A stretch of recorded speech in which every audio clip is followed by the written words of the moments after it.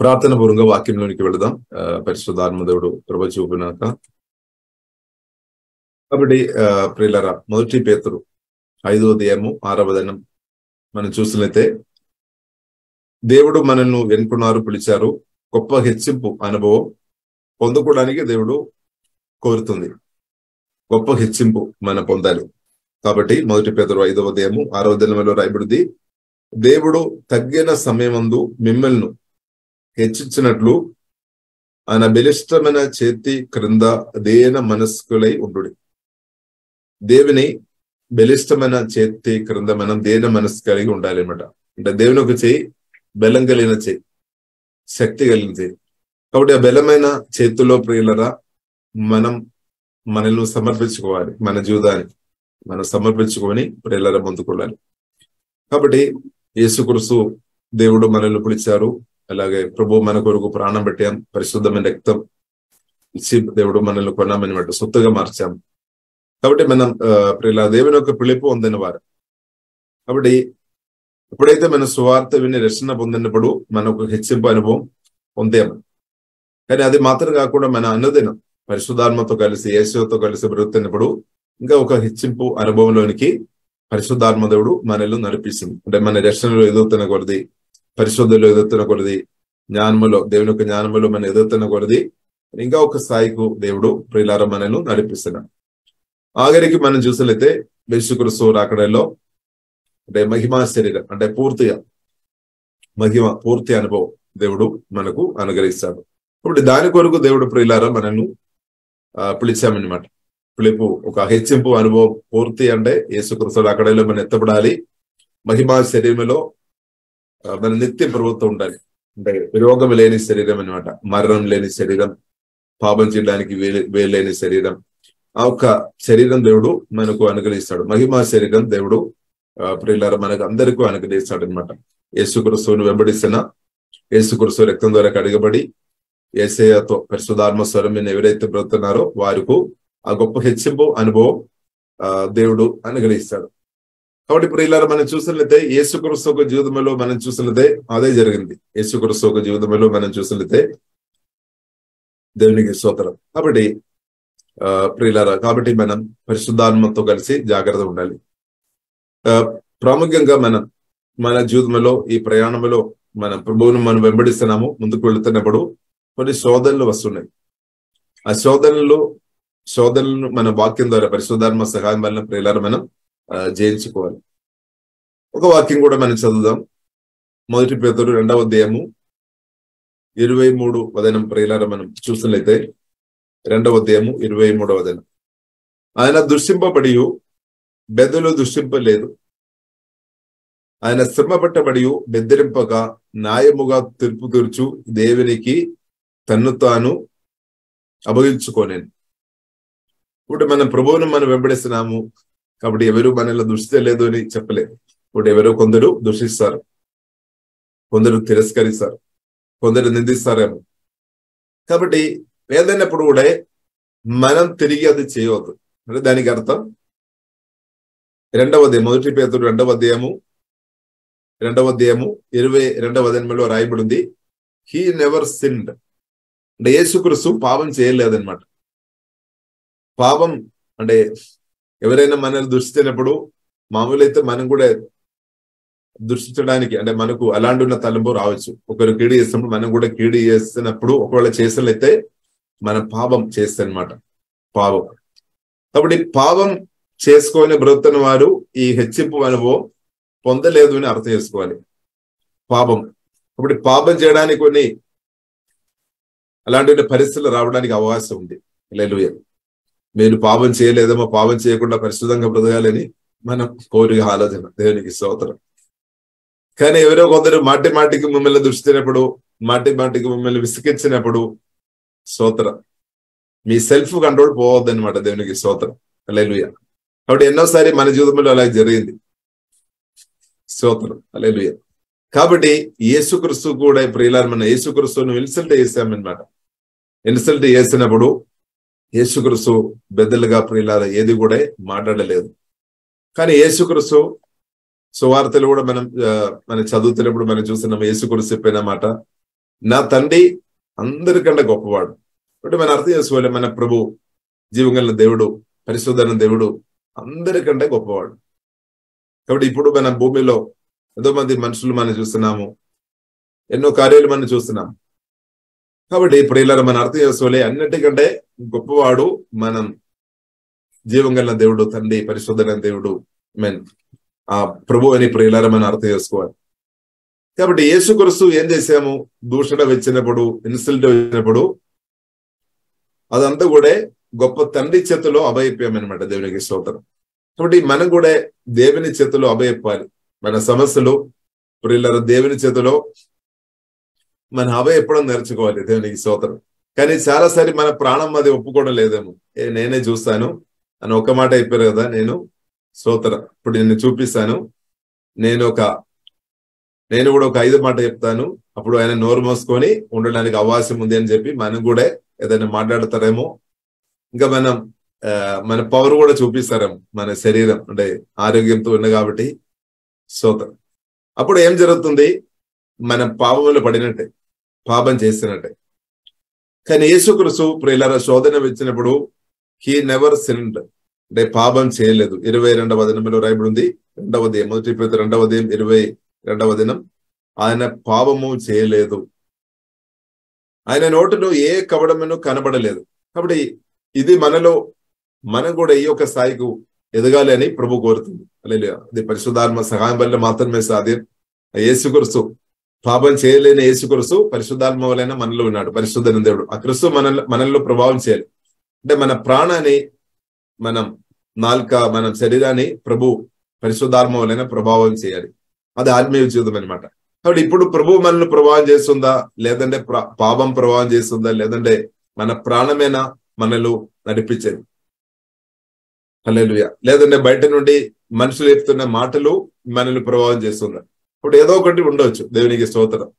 ఇప్పుడు యేసుకురుసు కోరుతున్న విషయం ఏంటిదంటే పూర్తిగా యేసుకురుసు మనల్ని పరిపాలన చేయాలని ఆశతో ప్రభు ఉన్నది ఇప్పుడు మనం సమర్పించుకోవాలి.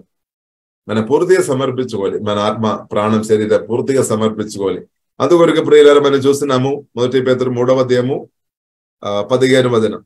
మొదటి పేతురు మూడవ అధ్యాయము పదిహేను వదనం. దానిలో రెండవ భాగం మీ హృదయ హృదయములందు క్రిస్తువును ప్రభువుగా ప్రదర్శించుడి మీ హృదయములందు క్రిస్తువును ప్రభువుగా ప్రదర్శించుడి ఇప్పుడు ఎల్లప్పుడూ యేసుకురుసు ప్రభు ఉండాలి అనమాట రక్షణ పొందిన రోజు మనం సువార్త నమ్మినప్పుడు ఏసే మన ప్రభు అని చెప్పాము. కానీ మన ప్రాక్టికల్ జీవితంలో అనుదినం యేసుకురుసు మన ఆత్మ ప్రాణ శరీరం పరిపాలన చేయాలి. అలెలుయ అది ప్రభు కోరుతున్న జీవితం అనమాట దేవునికి స్తోత్రం. అలెలుయ కాబట్టి మూడవ దేము పదిహేను వదనములో ప్రియులారా మనం చూసినట్లయితే instead you must worship Christ as lord of your life ఒకటి మనం జీవితం మన ప్రభువును మనం ఆరాధించాలి. Instead you must worship Christ as lord of your life కాబట్టి మన జీవితానికి ఒక ప్రభువుగా ఎల్లప్పుడూ ఉండాలి. ఏదో ఒక రోజు ప్రభు అని కాదు దేవునికి స్తోత్రం. ఎల్లప్పుడూ ఆయన ప్రభు ఉండాలి దేవునికి సోత్రం ఎవరు మిమ్మల్ని దూషించినా ఎవరు మీకు సహాయం చేసినా ఎవరు మిమ్మల్ని మెచ్చుకొని మాట్లాడినా ఒకవేళ మెచ్చుకోకుండా ఉండ ఉన్నప్పుడు కూడా ఒకవేళ మిమ్మల్ని తిరస్కరించినా పట్టించుకోలేనప్పుడు అన్ని పరిస్థితుల్లో యేసుకురుసు ప్రియులారా మన ప్రభువు ఉండాలి. ఇప్పుడు పరిశుద్ధాత్మ వలన యేసుకురుసు మనలో మెచ్చేసాం రక్షణ పొందినప్పటి నుండి మనలో ఉన్నాం. కాబట్టి ఆ ప్రభు ప్రియులరా పరిపాలన కొరకు మనం సమర్పించుకోవాలి. అల్లెలు మన హృదయం మనసు సమర్పించుకోవాలి. కాబట్టి ప్రాణం అది ఒప్పుకోవడం లేదేమో. ప్రాణం చెప్తుంది నేను చూసుకుంటా అల్లెలు కాబట్టి ప్రియులారా మనం అర్థం చేసుకోవాలి ఒకటి మనం అర్థం చేసుకోవాలి యేసుక్రీస్తు అంటే సజీవుడైన దేవుడు జీవం కలిగిన దేవుడు. ఇప్పుడు దేవుడు ఉన్నాడు అని ప్రియులారా మనం అర్థం చేసుకోవాలి. కాబట్టి యేసుక్రీస్తు ప్రియులారా ఏం చేస్తామంటే ప్రియులారా మనం యేసుకురుసు ఏం చేస్తామంటే ఇరవై మూడు వదనంలో రాయబడి ఉంది దానిలో రెండవ భాగం మనం చూసినట్టు he left his case in the hands of God he left his case in the hands of God ఆ సమస్య ఏదైతే ఆ సమస్య జరుగుతుందో ఆ కేసు ఏం చేశాం? తండ్రి చేతిలో ఇచ్చేసామన్నమాట. తండ్రి చేతులు ఇవ్వడం మనం నేర్చుకోవాలి. ఇప్పుడు అదే మనం ప్రియులారా మనం చూస్తున్నాము మొదటి పేతురు ఐదవ అధ్యాయం ఆరవ దినములో మనం చూస్తున్నాము. ఆరవ అధ్యాయంలో మనం చూస్తున్నాము దేవుడు తగిన సమయం ముందు మిమ్మల్ని హెచ్చించినట్టు దేవుని బలిష్టమైన చేతి క్రింద దీన మనస్సుకలై దీన మనస్సుకలై కలిగి ఉండాలి. దీన మనస్కులై ఉండుడి. దేవుని బలిష్టమైన చేయి. చూడండి దేవుని చేయి దేవుడు గొప్పవాడని మనం అర్థం చేసుకోవాలి. దేవుడు చేయి కూడా బలిష్టం దేవుడు గొప్ప దేవుడు. ఆ గొప్ప దేవుని చేతిలో ప్రియులను మనం విషయాలు మనం ఇవ్వాలి. అప్పుడు మనం మనకు కొట్టాడడం లేదు మనకి ఇబ్బంది లేదు ఇంకా ఇద్దరికి కూడా ఇబ్బంది లేదు మనకు సమాధాన సంతోషం అనుభవించుకొని హాయిగా ముందుకు వెళ్ళవచ్చు కానీ కానీ మన ప్రాణం కొన్నిసారి ఇది ఒప్పుకోవడం లేదేమో. వారు ఏదైనా చేస్తున్నప్పుడు మనకు మామూలు అయితే మనకు కోపం రావడానికి అవకాశం ఉంది. కాబట్టి మనకు వచ్చినట్టు ఇష్టానుసారంగా ఇప్పుడు ఇంకా మాట్లాడడానికి వీల్లేదు. ఒకప్పుడు మనం అలాగ మాట్లాడి ఉండవచ్చు ఎందుకంటే అప్పుడు యేసుక్రీస్తు మీ ప్రభుగా లేదేమో. అలెలుయ మీరు రక్షణ పొందలేదేమో. యేసుక్రీస్తు మీరు ప్రభుగా లేదేమో. కానీ ఇప్పుడు గుర్తించాలి యజమానుడు అలెలుయ అంటే రక్తం ఇచ్చి మనల్ని కొన్నా. అంటే యేసుక్రీస్తు పరిశోధ రక్తం ఇచ్చి నన్ను నిన్ను కొన్నా. ఉద్దేశం ఏంటది? చాలా ఉద్దేశాలు ఉన్నాయి. మన నిత్యం దేవునితో బ్రతకాలి. గొప్ప హెచ్చింపు మనం పొందాలి. ఆ ఒక ఉద్దేశంతో దేవుడు మన రక్తం కొన్నారు రక్షణ పొందినప్పుడే మనకు ఒక హెచ్చింపు అనుభవం దేవుడు మనకు అనుగ్రహించాము. రక్షణలో ఎదుర్తున్న కొలది ఇంకా ఒక గొప్ప స్థాయికి దేవుడు అనదిన పరిశుధాత్మ వలన మనం నడిపిస్తున్నాము. కానీ సంపూర్ణ హెచ్చింపు అంటే యేసుకురుసు అక్కడలో మనం మహిమా శరీరం కడబూర ధ్వని విన్నప్పుడు మన రూపాంతరం చెందుతాయి అనమాట దేవునికి స్తోత్రం. పూర్తిగా మనం బోడి కూడా మహిమ శరీరంగా మార్చబడుతుంది అప్పుడు ఈ అనుభవం మనం పొందాలి అంటే ఇప్పుడే ఇప్పుడే మనం జాగ్రత్త ఉండాలి. అంటే ఇప్పుడే మన పరిశుద్ధాత్మతో కలిసి నా ఇష్టం కాదు ఎస్ఏ మీ ఇష్టం అంటే ప్రభు ఇష్టం గ్రహించుకొని మనం ముందుకోవాలి కాబట్టి ఇప్పుడు ఇలా మనం అర్థం చేసుకోవాలి. కాబట్టి మన అనుమానత ఉండవద్దు. కొన్నిసారి మనకు అనుమానం వస్తాయేమో. ఈ కేసు ఈ విషయం ప్రభు చేతుల్లో ఇచ్చినట్లయితే ప్రభు చేస్తారేమో లేదంటే నేనే చేస్తామని మనకు ఇంకా రోషం వస్తాయేమో. కాబట్టి ఇప్పుడు ఇలా మనం మన అర్థం చేసుకోవాలి. మన దేవుడు జీవం కలిగిన దేవుడు సమాధి నుండి తిరిగి లేచిన దేవుడు. కాబట్టి దేవుడు ఇప్పుడు ఇలా తప్పకుండా సహాయం చేస్తాడు. కాబట్టి యేసు గురుసు ఏం చేశాడు? He left his case in the hand of God రెండవ ఉదయము ఇరవై నాలుగు ఇరవై మూడు వదనములు రాయబడింది న్యాయముగా తీర్పు తీర్చు దేవునికి తన్ను తాను అభగించుకోలేను అంటే ఆ సమస్య ఆ విషయాలు దేవుని చేతిలో అభయపాడు ఇప్పుడు ఇప్పుడు మీ విషయం నా విషయం మనం ఏం చేసుకోవాలి? మన దేవుని చేతిలో అభయపడం నేర్చుకోవాలి. యేసుదామలో కాబట్టి అది దేవుడు దేవుడని నమ్ముతున్న వారికి అది సాధ్యమన్నమాట. దేవుడు ఉన్నాడని తెలిసిన వారికి మాత్రమే అది సాధ్యం. మిగిలిన వారు వారు సొంతంగా వారే మాట్లాడతారు. ఇంకా సమస్యలు ఎక్కువ అవుతుంది పాపం చేయడానికి అవకాశం ఉంది. ఆ, సోదరం కాబట్టి మొదటి పేదరు ఐదవ ఉదయం ఏడవ దినములు కూడా ఇప్పుడు మనం చూసినతే అదే రాయబడి ఉంది ఆయన మిమ్మల్ని గురించి చిందించున్నాడు చూడండి దేవుడు మన గురించి ఆలోచన ఇస్తున్నాడు చిందించున్నాడు గనుక మీ చింద యావత్తు ఆయన మీద వేయుడు. మీ సమస్యలు అంతా యేసునామలో ఆ తండ్రి చేతుల్లో పెట్టండి అంత సింబల్. లూయ ఇప్పుడు మనం ప్రియులరా ఎవరిను దూషింపో దూషించవద్దు. కీడు మనం చేయవద్దు. ఒకవేళ మనం అలాగే చేసేది మనం పాపం చేస్తే. పాపం చేసేలైతే పరిశుధాత్మ దేవుడు మనల్ని నడిపించే పరిశుద్ధాత్మ దేవుడు దుఃఖపరచబడతాయి లెలుయ బైబిల్లో రాయబడింది ఆ ప్రియులార మనం మూడవ అధ్యాయంలో మనం చూస్తున్నాము ఎవరైతే కిండ చేస్తారో దేవుని యొక్క ముఖం వారికి వ్యతిరేకంగా ఉంది అని రాయబడింది. ఎవరైతే పాపం చేస్తా చేస్తారో వారికి వ్యతిరేకంగా దేవుని యొక్క ముఖం ఉంది అని ప్రియులార మూడవ అధ్యాయము మూడవ అధ్యాయంలో రాయబడింది దేవునికి స్తోత్రం. మొదటి పేతురు ఆ మూడవ అధ్యాయము పన్నెండవ అధ్యాయంలో రాయబడింది. రెండు విషయం గురించి రాయబడింది. నీతిమంతులు ప్రభు కన్నులు నీతిమంతుల మీదను ఆయన చెవులు వారి ప్రార్థనలు వైపు వైపునను ఉన్నవి గాని ప్రభు ముఖము కీడు చేయ వారికి విరోధముగా ఉన్నది. అంటే మనం పాపం చేస్తున్నదే స్తోత్రం మనకు ప్రభు ఎలాగా సహాయం చేస్తాడు? లేదు కాబట్టి ప్రియులారు మనం అర్థం చేసుకోవాలి మనం పాపం చేయవద్దు. లేదు పాపం చేయకుండా మనం బ్రతికేటట్టు దేవుడు కృప అనుగ్రహించినాక అంటే మన నాలుక ద్వారా దృష్టించవద్దు అనమాట దేవుడు కిడి చేసినప్పుడు మనం కూడా కిడి చేయవద్దు. ఇప్పుడు మనం పాపం చేస్తున్నట్టే. కాబట్టి మనం పాపం చేయవద్దు కానీ మనం మనం విషయాలు సమస్త ఏషంలో తండ్రికు అవయప్పి దేవుని సుధించుకొని దేవుని ఆధారపడి ముందుకు వెళుతున్నప్పుడు మేలు కార్యాలు ప్రియులారా ఆ తండ్రి దేవుడు చూస్తాడు. జీవగల దేవుడు గొప్ప దేవుడు శక్తి గల దేవుడు తప్పకుండా చూస్తాడు. కాబట్టి మనం అర్థం చేసుకోవాలి. కాబట్టి అది మాత్రం కాకుండా మన దేవుని చిత్తానుసరిగా మనం పాపం చేయకుండా బ్రతుకుతున్నప్పుడు అంటే యేసుక్రీస్తు రక్తం ద్వారా మనం కడగబడియాము మనల్ని దేవుడు మన నిధి బంధులుగా మార్చాము. కాబట్టి మన ప్రార్థన కూడా తప్పకుండా దేవుడు ప్రియులర ఆలగిస్తాడు.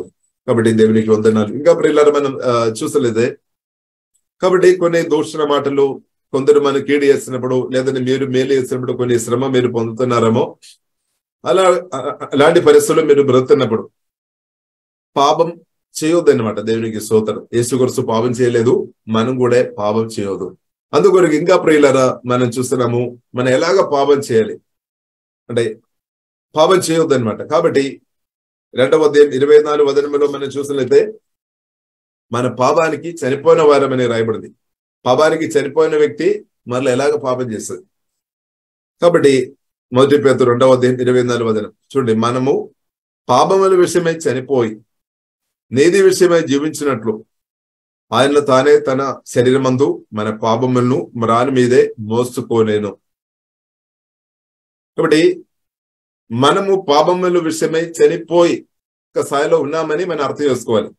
యేసు కొరసు సిలువలో మరణించినప్పుడు మన పాప శరీరం ఆ హల్లెలూయా సిలువ వేయబడింది. అంటే ప్రాచీన పురుషుడు ప్రాచీన పురుషుడు సిలువ వేయబడింది. పాప శుభ ప్రాచీన పురుషుడు. కాబట్టి యేసు తెలియలేపినప్పుడు మనం కూడా తెరి లే లేపబడామన్నమాట కాబట్టి మనం క్రిస్తువులు ఉన్నాం. కాబట్టి ప్రియులారా మనం కాబట్టి పాపం మనం చేసినట్టు అలాగే కొన్ని ఐ మీన్ హల్లెలూయా. ప్రేరేపణ బయట ఉంటే తప్పకుండా రావడానికి అవకాశాలు ఉన్నాయి కొన్ని ఒత్తిడిలో రావడానికి అవకాశాలు ఉన్నాయి కానీ మనం పాపం చేయవద్దు హల్లెలూయా. మనం అర్థం చేసుకోవాలి. పాపం చేసినట్టు కొన్ని ఒత్తిడిలు రావడానికి అవకాశం ఉంది. కానీ దేవుని కుమారు కుమార్తెగా మన ప్రార్థన ద్వారా పరిశుధాత్మ సహాయం వలన పాపం చేయకుండా బ్రదైనట్టు దేవుడు మనకు కృప అనుగ్రహించినాక పరిశుద్ధంగా బ్రదైనట్టు దేవుడు కృప అనుగ్రహించినాక నోటితో అని క్రియల ద్వారా పాపం చేయకుండా దేవుడు పరిశుద్ధ ఐ మీన్ హోలీ స్పిరిట్ దేవుడు మనల్ని ప్రభావం చేయనాక అల్లెలు యేసుక్రీస్తు మనకు సహాయం చేసినాక. కాబట్టి మనము పాపముల విషయమై చనిపోయి నీతి విషయమై జీవించినట్లు ఆయన తానే తన శరీరమందు మన పాపములను రాణి మీద మోసుకోలేను కాబట్టి ప్రియులారు మనం పాపం చేయవద్దు. ఎందుకంటే మన పాపానికి చనిపోయిన వారం అని మనం గుర్తించాలి. కాబట్టి పరిశుద్ధైన దేవుడు మనలో ఉన్నాడు.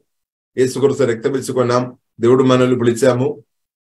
ఆల్రెడీ దేవుడు పాపం మన పాపాన్ని క్షమించాము. నిత్యజీవి రక్షణ అనుగ్రహించాము. మనం రక్షణలో మన అనుదినం మెదులుతున్నాము. అప్పుడు యేసుకృసు రాకడ కొరకు దేవుడు ప్రియులారా మనల్ని సిద్ధపరిచిన గొప్ప హెచ్చింపు అనుభవంలోనికి అనుదిన పరిశుద్ధాత్మతో కలిసి మనం నడవాలి. అంటే అనదినం ఆ హెచ్చింపు అనుభవం మనం పొందవచ్చు పొందవచ్చు అనమాట దేవునికి స్తోత్రం.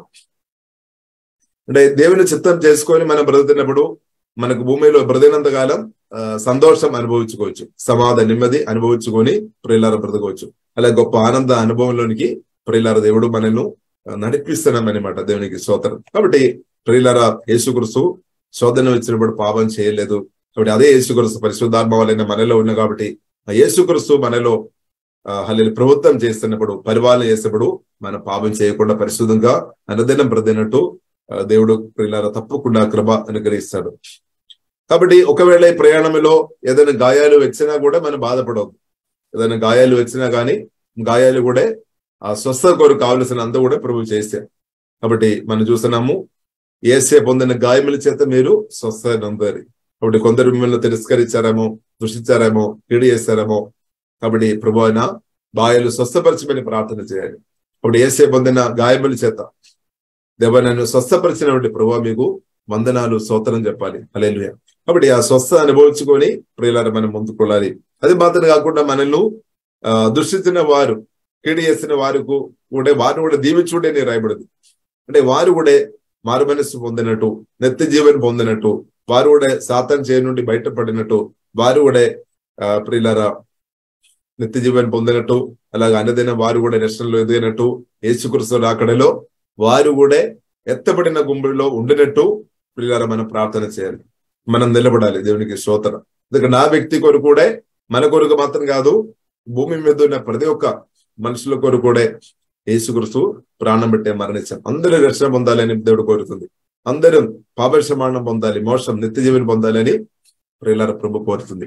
ఈ యొక్క ఆత్మ కూడా నాశనం అయిపోవద్దు యొక్క ఆత్మ కూడా నాశనం అయిపోవద్దు అని ప్రియులార ప్రభు కోరుతుంది. ఇప్పుడు మన ఆత్మ సేఫ్టీ ఉండాలి. ఇద్దరు ఆత్మ కూడా రక్షణ పొందినట్టు దేవుడు ప్రియుల మన పరిశుద్ధాత్మతో కలిసి యేసుతో కలిసి నడిచినప్పుడు దేవుడు కార్యం చేశాడు. అదే మనం చూసిన మూడవ అధ్యాయంలో మనం చూసినాము. ఒకవేళ మీ భర్త రక్షణ పొందలేని స్థాయిలో ఉన్నారంటే ఒకవేళ మీరు ఎన్ని సువార్త చెప్పిన వారు మారడం లేదేమో. కానీ మీరు వాక్యానుసారంగా మీరు బ్రతున్నప్పుడు మీ జీవితం ద్వారా దేవుడు వారితో మాట్లాడి వారు తప్పకుండా ప్రభువును ఆత్మలో సత్యంలో ఆరాధన చేసినట్టు మోక్షం పొందినట్టు నిత్య పొందినట్టు దేవుడు యేసునామలో గొప్ప కార్యం. దేవుడు చేయడానికి శక్తి కలిగిన దేవుడు బలం కలిగిన దేవుడు. అలెలుయ కాబట్టి ప్రియులలో మనం యేసుక్రీస్తు ఎల్లప్పుడూ నా ప్రభువు ఉండాలి. సోతర అలెలుయ నేను ప్రార్థన చేయాలి. ఏసే మీరు ఎల్లప్పుడూ నా తలంబులు నా ఆలోచన నా మాటలు క్రియలు అన్ని పరిస్థితులు మీరే ప్రభావం చేయమని ప్రియులార ప్రార్థన చేయాలి కాబట్టి యేసు క్రిస్తు ప్రియులార చూసినట్లయితే ఆ సోదరులు ఇబ్బందులు వచ్చినప్పుడు దూషించలేదు దళ్ళకు అంటే కీడు చేయలేదు. ఆ విషయాలు తండ్రికు అభయప్యం కాబట్టి తండ్రి కూడా ప్రియులారం మనం చూస్తున్నాము యేసుగురుసును హెచ్చించినట్టు ప్రియులారం మనం చూస్తున్నాం. యేసుగురుసును హదీయంగా దేవుడు హెచ్చించామని హెచ్చించామన్నమాట. కాబట్టి మనం కూడా ప్రియులార ఇద్దరితో క్షమించినప్పుడు మన సమస్యలు ఏ సమయంలో తండ్రి చేతులు ఆ విషయాలు మనం సమర్పించుకొని మనం ముందుకు వెళ్ళినప్పుడు పరిశోధాత్మలో ఆధారపడి ముందుకు వెళ్తున్నప్పుడు దేవుడు మనల్ని కూడా తప్పకుండా హెచ్చిస్తాడు. ఇప్పుడు యేసుగురుసు జీవితం ప్రియులారా మనం చూస్తున్నాము. ఒకసారి ప్రియులరా మొదటి పేరు సారీ ఫిలిపులకు రాసిన పత్రిక రెండవ అధ్యాయము ఎనిమిది తొమ్మిది పది వదనలో స్పష్టంగా రాయబడింది. యేసుగురుసు ఆ తండ్రి దేవుని చిత్తం చేసిన కాబట్టి మనం చూస్తున్నాము. తొమ్మిది వదిన ప్రియులరా మనం ఒకసారి సరే ఎనిమిది. మరియు రెండవ ఉదయం ఎనిమిది ఫిలిపిలకు రాసిన పత్రిక. మరియు ఆయన ఆగారమందు మనుషుడుగా కనబడి మరణం పొందినందగా అనగా శిల్వ మరణం పొందినందగా విధేయత చూపిన వాడై తన్ను తాను తగ్గించుకొని చూడండి మనం తన్ను తాను తగ్గించుకోవాలి. తన్ను తాను తగ్గించుకోను కోనేను అందుచేతను చూడండి అందుచేతను పరలోకమందున్న వారిలో గాని భూమి మీద ఉన్న వారిలో గాని భూమి క్రింద ఉన్న వారిలో గాని ప్రతివాని మోకాలను యేసు నామ నామమున వంగనట్లు ప్రతివాని నాల్కయు తండ్రి అయిన దేవుని మహిమార్థమై యేసుక్రీస్తు ప్రభు అని ఒప్పుకోనట్లును దేవుడు ఆయనను అదీముగా హెచ్చించి ప్రతి నామమునకు పై నామమును ఆయనకు అనుగ్రహించను. దేవునికి స్తోత్రం. ఇప్పుడు యేసుక్రీస్తు పాపం చేయలేదు దూషించలేదు ఆ విషయాలు తండ్రి చేతులు అవయపోయామనమాట తండ్రి కూడా చూడండి ఎంత నమ్మకంగా కార్యం చేశాడు. అలా యేసుక్రీస్తును హెచ్చించామన్నమాట కాబట్టి అదే ప్రియులార దేవుడు మన జీవితంలో కూడా కోరుతుంది. కాబట్టి మనం పాపం చేయవద్దు శోధనలో వస్తుంది. కొందరు దూషిస్తారేమో కిడియేస్తారేమో కాబట్టి ప్రాముఖ్యమైన ఉద్దేశం మీరు పడిపోవాలి. మీరు ఆశీర్వాదాలు పొందవద్దు. అలా మీరు దేవుని నుండి ఇంకా దూరం అవ్వాలని దేయాలు ఎంతగా కోరుతుంది. కాబట్టి ప్రియుల దేవుడేమో మనల్ని హెచ్చించుకోవాలని కోరుతుంది దేవునికి సోతరం ప్రతిరోజు మన సంతోషం సమాధానం నెమ్మది అనుభవించుకొని మనం ద్వారా ఇద్దరును దీవించాలని దేవుడు కోరుతుంది. అలాగే యేసుకృష్ణ రాకడలో మనం ఎత్తపడాలని దేవుడు కోరుతుంది. కాబట్టి ప్రియులారా మనం అర్థం చేసుకోవాలి మనకు నష్టం కాదు దేవునికి స్తోత్రం. ఇద్దరులతో మనం క్షమించినప్పుడు ఇద్దరు దూషించినప్పుడు మనం దూషింపకుండా ఆ విషయాలు దేవునితో ప్రార్థన చేసుకొని ఇద్దరు మనం కీడు చేసినప్పుడు మనం కీడు చేయకుండా మేలు చేసుకొని ప్రార్థన చేసుకొని మనం బ్రతనప్పుడు ప్రియులకు మన నష్టం కాదు. అల్లెలుయ మనకు అది మేలని అర్థం చేసుకోవాలి. కాబట్టి యేసుక్రీస్తును తండ్రిని దేవుడు హెచ్చించాము అధికంగా హెచ్చించాము. లేదు కాబట్టి యేసుక్రీస్తును వెంబడిస్తున్న మనం కూడా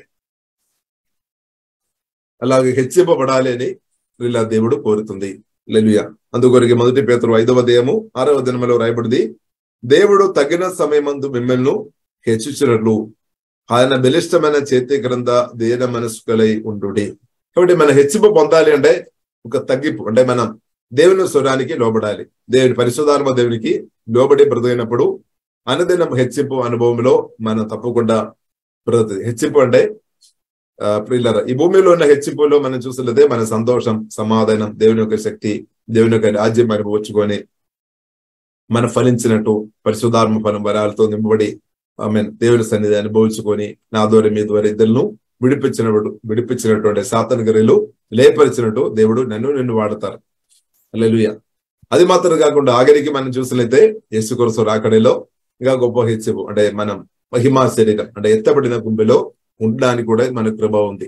దేవుడు కృప చూపిస్తాడు. అల్లెలుయ కాబట్టి ఇప్పుడు ఇలా మనం అర్థం చేస్తుంది కాబట్టి మనం పరిశుధాత్మతో కలిసి మనం చక్కగా మనం ముందుకు వెళ్ళాలి.